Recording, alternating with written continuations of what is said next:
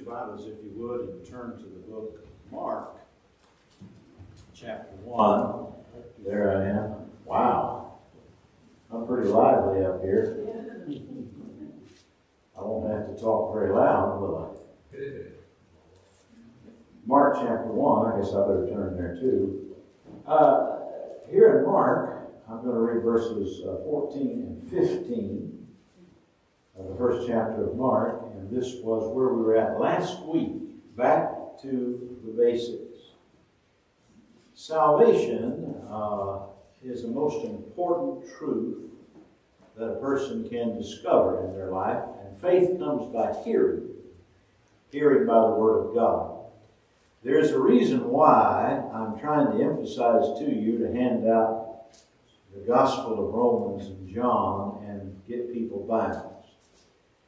Uh, we have a lot of things in our church, and I like the things. We have uh, People tell me we have more meals than any other church. Amen. I kind of like those. People that watch me online say, You have more fellowship meals than about anybody we know. Well, good. Come on over and fellowship with us. We have lots of food. We like and uh, people do a good job. Uh, we have other events, outreach, like I was talking about.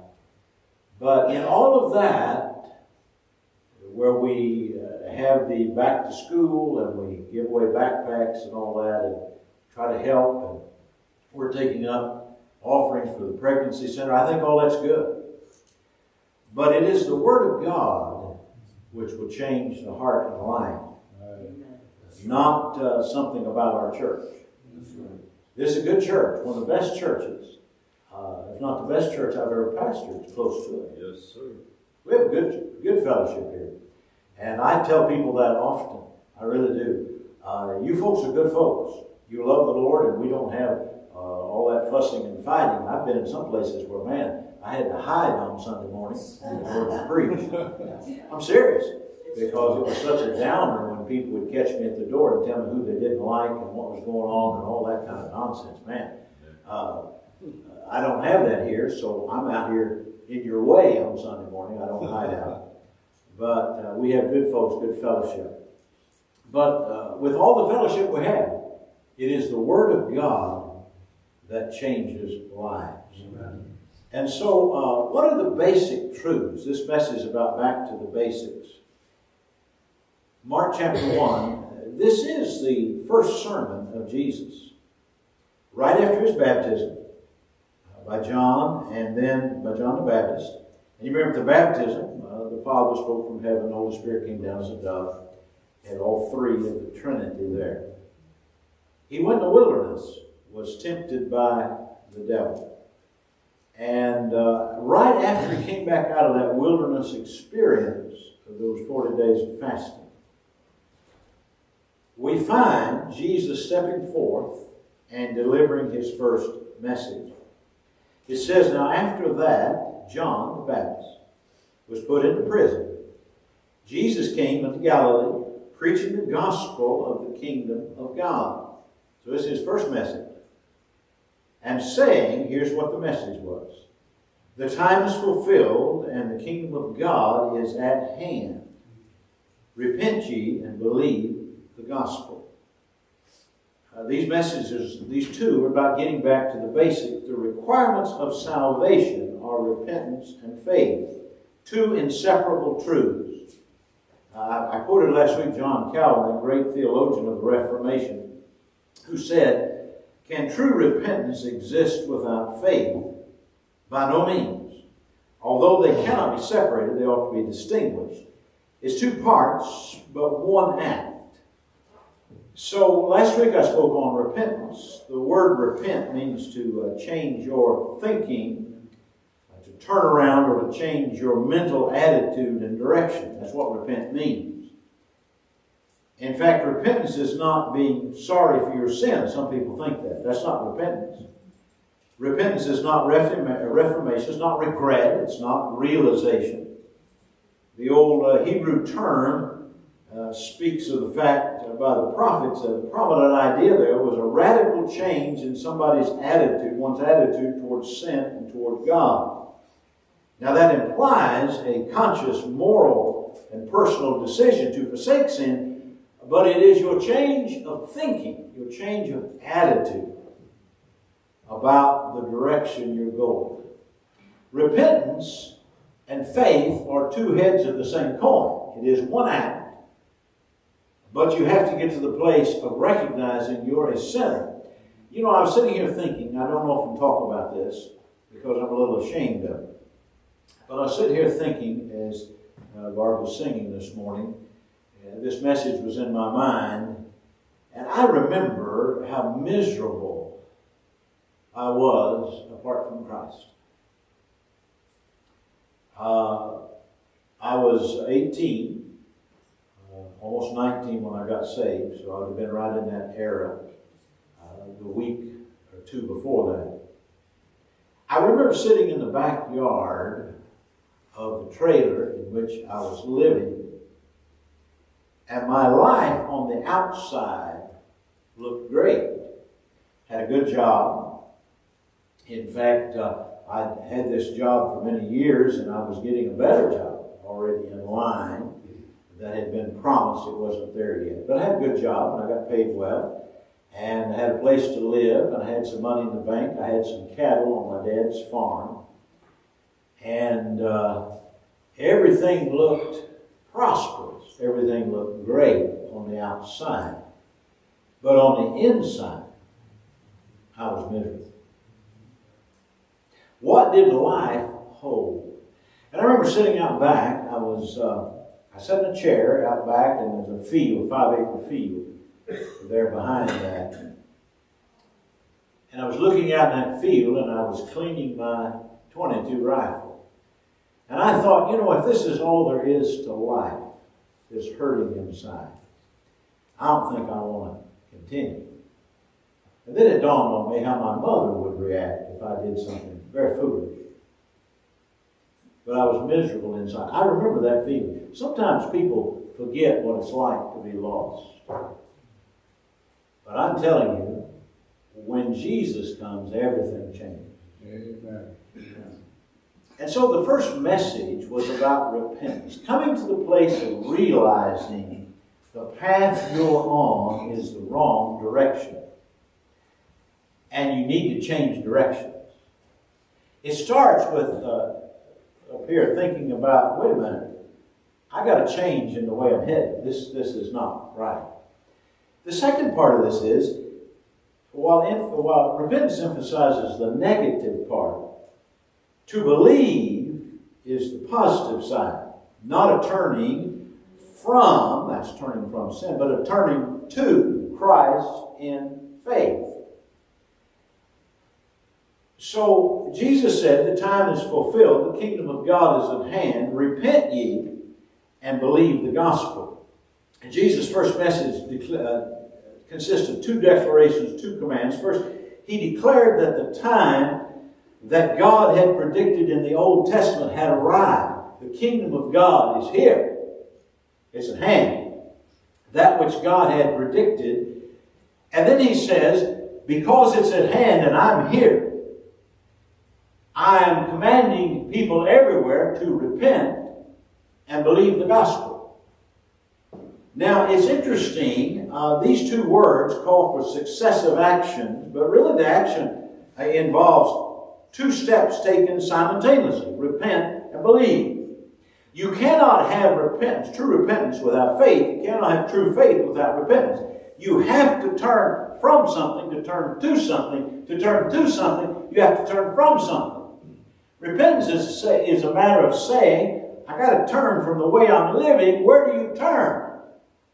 You turn to Christ. That's what it said. Repent and believe the gospel. Now, for example, a drowning man who's out there in the water and the lifeguard jumps in and gets to him has to do two things simultaneously. He's got to let go of the little board he's hanging on and grasp the lifeguard. He'll be in trouble if he doesn't let go and get a hold. Salvation, in that sense, is like that repentance and faith. It's one act, but it's simultaneously repenting or turning from your sins and trusting Christ. What does it mean here when Jesus says to believe. You see, the term believe used many times in the New Testament, about 120 some times. And the term believeth is used another 40 uh, sometimes, about 41 times. The most famous verse in all the Bible is John 3.16. For God so loved the world that he gave his only begotten Son. Whosoever believeth in him should not perish but have everlasting life. What does it mean to believe biblically? Well, the ISB, the International Standard Bible Encyclopedia, speaks of that old word believe, or faith, pistos, faith. Uh, it says it occurs frequently as a regular description of those professing their faith in Christ and those who have attached themselves to the Christian church. In other words, belief is seen to have, are you a believer? That's what it's used, of course. Him that believeth. What does that mean to believe?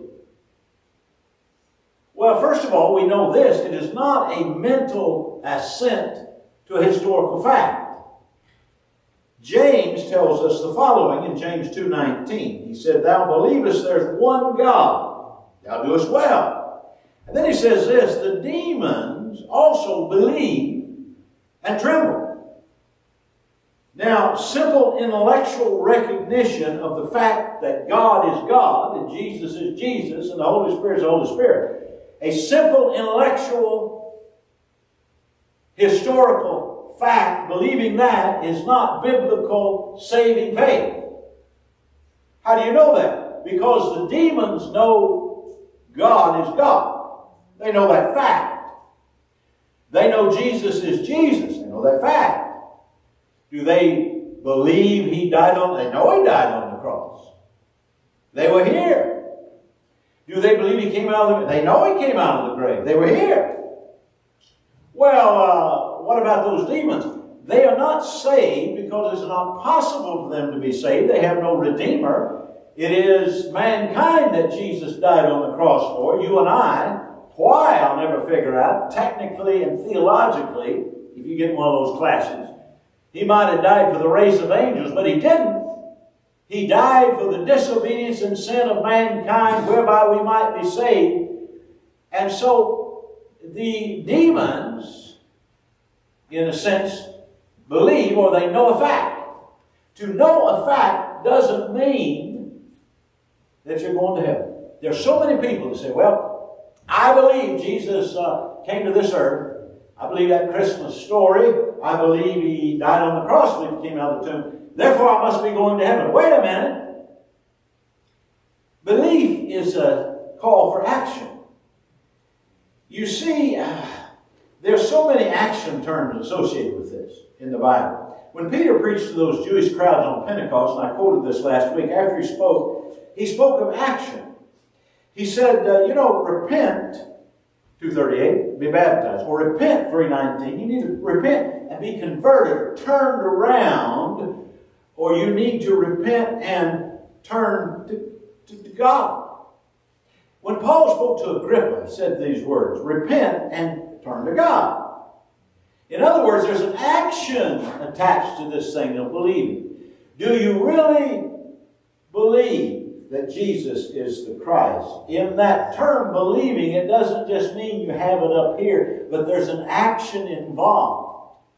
So we find the following Jesus said, Come unto me, all you that labor and heavy laden, and I'll give you rest. Another place he said, If any man will come to me, let him deny himself, take up his cross, and follow me. There's an action required, not a mental assent to some fact. So while the demons believe, they can't come to Christ.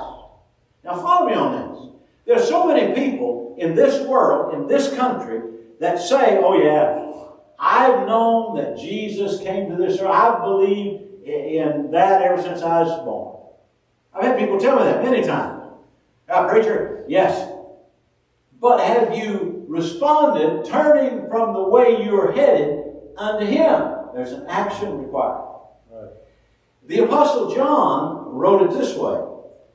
In John chapter 1, 10 through 12, speaking of Jesus, he was in the world, and the world was made by him, and the world knew him not. He came into his own, that's the Jews. They received him not. But as many as received him, to them gave he power to, to be the sons of God, to become the sons of God, even to them that believe on his name. As many as received him, that's an action, to take hold of him or to take him. You see, if you truly believe, it is an action term. Now, we do this all the time. Uh, if you come in and you look at that pew and you see it's got a broken leg. I was at a place the other day and I, I walked in and they had pews and I looked at one and I said to myself, Self, if you sat in that pew, that thing's liable to give way. Look at it. It was missing one leg and another one was crooked, in an old church. And I said, Man, that looks dangerous. I don't believe that's worth me trusting. I sat in another pew. You see, if I went in and said, okay, and jumped in on it, that means I believed and trusted it to hold me up. Belief is always an action term. It's not just a mental thing. And so uh, John says, but as many as received him, to them gave he power to become the sons of God. So the writer of Hebrews, challenging those uh, believers who are young in the Lord and who are not growing properly to move forward. There in chapter 6, coming out of chapter 5, he said, You ought to be teachers, but you're at the place you need to be taught again the very first principles. And so he said, I'll read the Amplified because I think it helps us here. Let us not again be laying the foundation of repentance and abandonment of dead works and of faith by which you turn to God. Actually, he said, the very first principles are turning from the dead works, that's repentance, turning, changing your mind about how you're living, and turning in faith to God. He said those are the very foundational principles of salvation. That's what Jesus said. So, uh, what does it mean to believe? It carries with it an action. If you set out on the front step this morning, I see you sitting out there, and I go out after church, and you say, I say, well, how come you don't go start your car? And you say, well, I don't believe it's going to start. You know why you turn the key or push the button? Because you believe it's going to do that. Why do you believe that? Because it's always done that when you push the button, and you're surprised if it doesn't. You realize it's a possibility because it's mechanical, but belief causes action. Jesus said, I want you to repent. The kingdom of God's arrived. Repent and believe the gospel. Well, what are we to believe? Now, this is interesting. Let me give you some verses. It's interesting how the Bible presents biblical belief. It talks about a heart belief, Romans chapter 10. It says in 9 and 10 that if thou shalt confess with thy mouth the Lord Jesus and believe in thine heart that God hath raised him from the dead, thou shalt be saved. That's interesting. For with the heart man believeth unto righteousness, and with the mouth confession is made to salvation. Not just confession, but believing in your heart. Why did Paul say that? What does he mean, believing in your heart? Is he talking about that organ that beats inside your chest? No. The heart was the center of the being because the heart's in the center of your chest. They related it to that. It wasn't the cardio, the pumping organ. It's the center of the being, of who you are. Center of man's, uh, or the seat of man's emotions and intellect and moral faculties, the heart. It includes your emotions, it includes your mind, it includes your will. It's you. You believe with your heart, Paul says. What does that mean? You believe. With your mind, you understand Jesus died on the cross.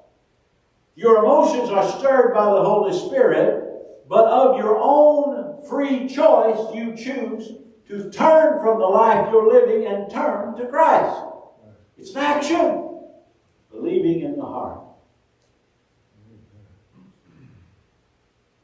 Now, we sing songs about that. Is thy heart right with God? What does that mean? Are you right with God? Have you straight, uh, squared away with God? Got things straight? We sing invitations like this, just as I am, without one plea. But that thy blood was shed for me. Then at the end of that we say, I come. Action. I believe Jesus died on the cross. What do you got to do? Well, I just believe that. No, there's an action involved. And so Paul says, uh, we believe with the heart. O Lamb of God, I come, I come. Why? Because in faith you're turning to Him. You have turned from your old life. You're turning in faith to Him. Now it also says in the Bible that we're to believe on His name. Listen. And this is the commandment, John 1.23, verse 1, uh, 3.23, excuse me. And this is the commandment that we should believe on the name of His Son, Jesus Christ. What does that mean? Well, it follows it up in 5.13. These things have I written in you, this is a great verse, that believe on the name of the Son of God, that you may know you have eternal life, and that you may continue to believe on the name of the Son of God. It's present tense.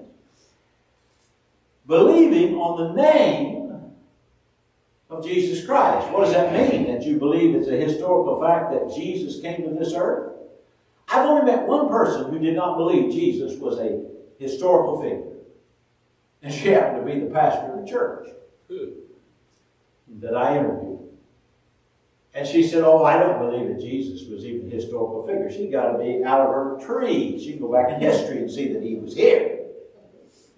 That's only person. Most people say, "Oh yeah, yeah, yeah, I believe, yeah, history books." But what does it mean here to believe on the name of Jesus? We believe he was named Jesus. That's a historical fact.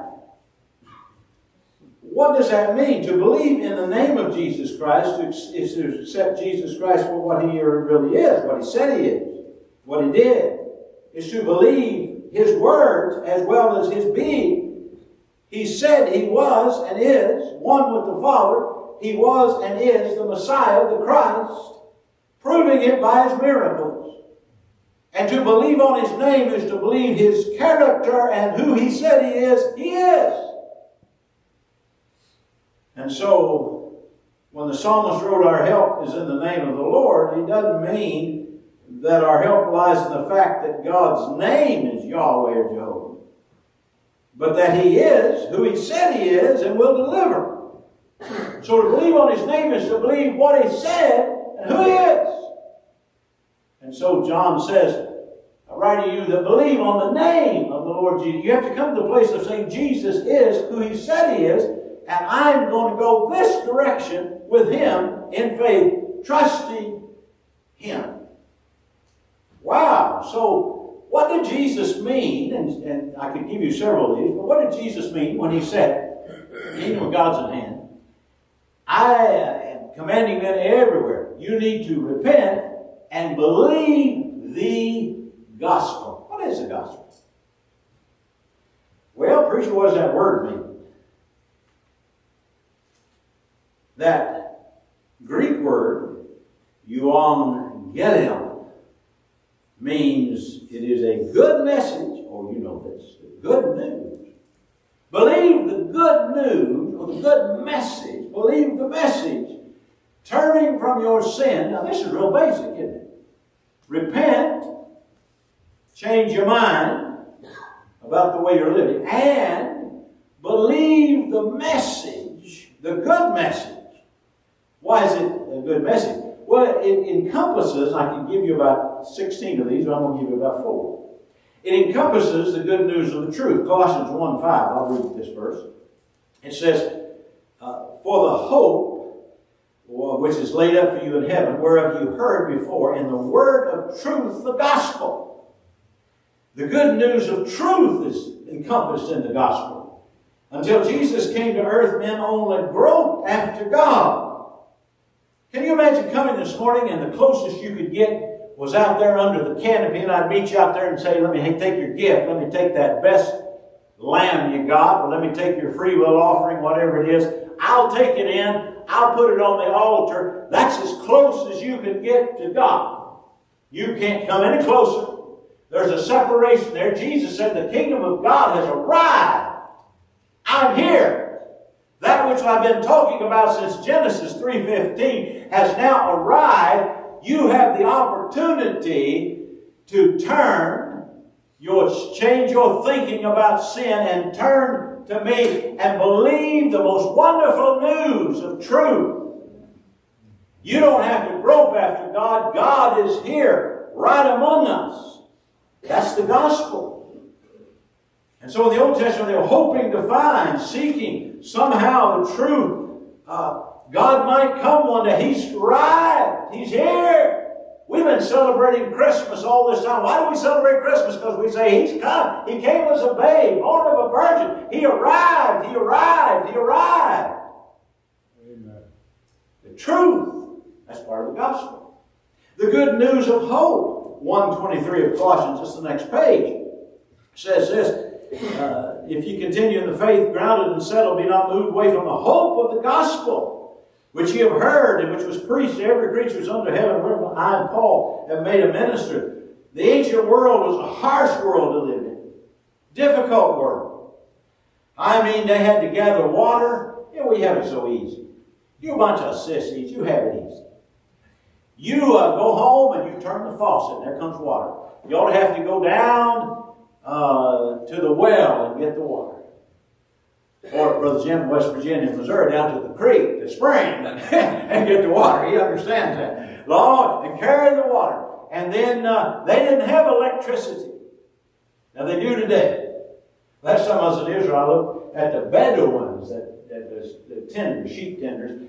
I looked at out there, and they was way out in the desert, and I thought, what a meager existence. And I looked behind the tent, there was a battery and a TV on. I saw they have TV and they have cell phones today too. So uh, electronics has gotten everywhere. It was a harsh world they were living in. They lived very meager lives. Most of them did not have enough food to satisfy them except rich folks. They lived a meager existence, a harsh life, a difficult life, and Jesus said, in the midst of this, there is the hope of the gospel. It ah. gives hope to mankind. I mean, Jesus is alive, and because He's alive and because He's arrived, there's hope now. Amen. You don't just live and die and think that maybe God one day will send the Savior. He's come to this earth. It's the gospel of hope. It is the gospel or the good news of peace.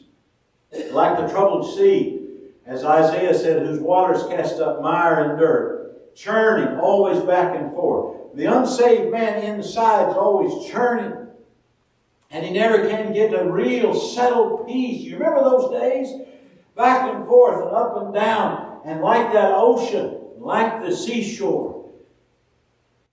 Just always back and forth. But in Christ, in Christ, that turmoil can end God's good news of peace. Jesus said, I came to bring peace. And so he proclaimed, My peace I'll give unto you. You can be at peace with yourself and with the world. We have forgotten what it was like to be in that turmoil after we're saved. Man, to think, I'm at peace. I go to bed at night at peace. That's the good news of the gospel. It's the good news of peace. It is also the good news of life. Now, real life, real living with purpose and direction, joy and happiness. Jesus said plainly, I am the bread of life or the bread of living. I am the sustenance for real life. What uh, do you need? What you need to have a full and happy life? I've got Bread was what they used to fill the body. He said, I'm the bread of living, of life. You say, well, uh, my life's wrapped up in my job. We used to uh, joke about those on the assembly line. You might not like this, but we used to joke with them. And they would say, I, you know, they couldn't do without me. And we'd say, oh, you die on the assembly line, they'll push you over and after after the shift. They'll put somebody else in after the shift. They'll drag you out. the guy said, well, that, you know, GM Ford and all these companies, they couldn't survive without me. Who are you kidding? You work there so you can buy groceries. I understand it's a good place to work. Buy groceries, like other places. Jesus said, I am the bread, the sustenance of real living. I'm the bread of life. And uh, he said, what you need have a full and happy life, I've got. So he said, I am come that they might have life. And they might have it more abundantly. Abundant life. It means a life with surplus. I'm come that they might have life and it's full and overflow. It's a surplus life. It's not just a meager little bit of happiness. It just overflows. One place he said, out of your belly will flow rivers of living water. The Holy Spirit lives within us. Wow! It's not just a meager existence and say, well, I might go to heaven one day. It's an abundant life here and now. Christians are happy, happy, happy. So we sing songs. I've got the joy, joy, joy, joy down in my heart. It's a happy life. You remember what it's like not to be saved? I tell you what, to go to bed at night and to talk to the Lord and get up the next morning and say hello and to have this life, even in the midst of turmoil. When I was a young pastor, I used to be amazed. I would go to the hospital and see a dear saint, and I would think, man, they're in bad shape. I don't know what I'm to say to them. What do I say to somebody? And I'd come in and say, Hey, preacher, I'm happy in Jesus. I get it now. Even in the hospital bed, were they happy they were hurting and, and uh, they had, no, they, they'd rather be. But God supplies. He supplies the joy. And it's an odd, we talked about this the other day, I was talking to my wife. It's an odd thing when you bury your parents or a parent. Odd thing. And if you haven't experienced that, that's a sad day. It really is. But it's an odd feeling when they're a believer. On the one hand, you're brokenhearted because there's a gap there and you won't be able to talk to them for a while. I woke up the other day and I thought, I wish I could call Dad. I had a question, and I knew he would know about it but I don't have a telephone line to heaven. I can pray about it, but uh, I wish I'd get him on the line and say, hey, I got a question about this whole thing, and I knew you'd know because you know all that. You've been through it. It's an odd feeling that on the one hand, you say, I'm sad and brokenhearted. And on the other hand, I know where they're at. I haven't lost them. Yeah. And God sent you this amazing joy. You almost feel ashamed now, if I die next week and I'm laying here, please don't come by and start dancing. People will understand. but I want you to have joy. Don't come by and go, woo, he's gone, he's gone, he's gone. Oh, it's great, he's gone. No, no. At least act like you're sad a little bit, then get outside and go, woo, he's gone. But uh, there is an odd thing there. Isn't it? You guys experience it. What is that? It's because we know they have life. And the Holy Spirit gives us joy even in the midst of sadness. There's that joy of the Lord. He said, I'm come that you would have life and you'd have it more abundantly, overflowing in all of things. You have an overflowing life, a surplus life. I never realized that when I got saved. I really didn't. But the journey is amazing with Jesus. You never Never without. And even when things don't go well, there's a choice. So said Barbara, that's good. She was looking for a microphone that would actually work. The battery going out, uh, all this electronic. But she just still had the joy. You know, the world threw the mic and said, hey, what's going on? You see, they don't have much joy, but the Holy Spirit blessed that song and you hit it just like water does. And there's just joy. Not only is it abundant life, it's eternal life. 2 Timothy 1.10, But now is made manifest by the appearing of our Savior Jesus Christ, who hath abolished death, and hath brought life and immortality to light through the gospel. The good news of life living. Not only here, but wow, I not only can have truth and joy and peace and abundance. I have all that peace and hope and all that and many, many other things. But the gospel is a gospel of not only abundant living, but everlasting living. You're not going to get rid of me when I leave this world if you go to heaven. We're going to be together. Amen. Eternal. Ever, think about that. Wow. It, I'm headed on the wrong path, which is death and destruction and misery here. Changing my mind about this. I believe I'd like to follow the good news. Because in it is peace. And some of you don't have any peace inside. And hope. You don't have much hope in this life. And uh, in it is life in Christ. Real, abundant life, joy, happiness, and, wow, eternal life. So you say, well, I know I'm a sinner. And Jesus said, I need to repent. I need to change my attitude about sin and the direction I'm headed. So um, I'm just going to turn around. Now, I'm going to turn, make a turn. I'm going to start helping people. I'm going to get involved in, in helping the poor. That's, that's nice to. I'm going to get involved in giving to the needy. I'm for giving to the needy. I'm going to get involved in religion. Religion not bad. But that's not what he said. Jesus didn't say, repent. Just, just change your mind. Repent and believe the gospel. You can't just get over here and feel sorry. By the way, some of them say, they added to this, it doesn't mean repentance, it doesn't mean repentance, but they try, oh, I'll just, I'll just say so many prayers and I'll give some. No. Jesus said, repent, believe the gospel. Oh, you say, I like that stuff about believing the gospel. That's what I want to do. I just want the good. I want a good life. I want life. I want happiness. And so uh, they say something like this I'm just knowing He's loving and kind, and He's a wonderful person. I hope He'll accept me. I'm going to count on that. Sincerely, I'm going to say, Jesus, I believe in you. Jesus didn't say just believe.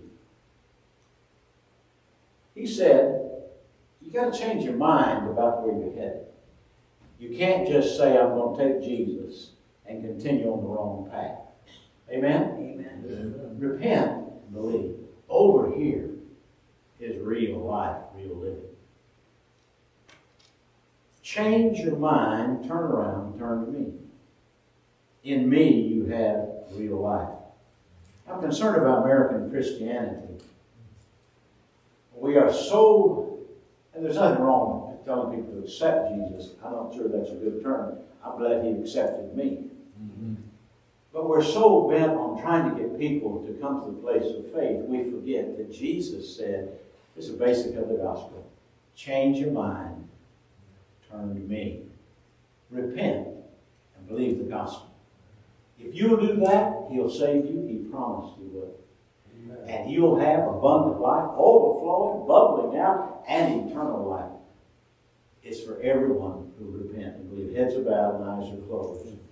Has there come a time in your life when you said yes to Jesus, you said yes to the cross, and you said, man, I, I know I'm saved because I've done what Jesus asked. I came to a place in my life I, I knew I needed to turn around, and I turned to Christ. Maybe you're and you say, uh, I'm miserable inside. I've never done that. Why don't you do that? Jesus said, repent and believe. Come unto me, all you that labor. Change your mind about yourself. Believe with your heart. The whole person. Turn to me. Follow me. Receive me, Johnson. It's an action. I wonder today if you have the assurance of salvation. How do I know I'm saved? Well, Jesus said, My sheep, uh, I know them. They know me and they hear my voice and they follow me. That's a sheep. Jesus said, uh, I'm going to send the Holy Spirit. His Spirit. The Holy Spirit bears witness with your spirit. Romans 8, you're a child of God. And so we look inside, as soon as you get saved, He sends the Holy Spirit to indwell you. And you know you're saved. Met His conditions and you have the evidence. Oh, yeah, believers have good works, but that comes when you believe, not before. That doesn't mean anything about salvation. It just means you appreciate the Lord. You want to do good. Have you turned and believed? Well, I haven't done that. Why don't you do that this morning? I want you to stand with heads bowed and eyes closed. May a word of prayer. Now, we have some altars if you'd like to come and pray, but you don't have to do that. In order to be saved, you must turn to Christ. Turn from the path you live. The only joy and happiness is found in the gospel. Repent and believe the gospel. Would you do that today, Heavenly Father? As we sing this invitation for those who are online, those who are here, I pray that this very basic message of last week and this week, repentance and faith, simple requires one act, turning from, turning to, cannot be separated, they can be distinguished, as John Calvin said. I'm thankful for the day that I came to you, turning from the path I was on and just giving my life to you.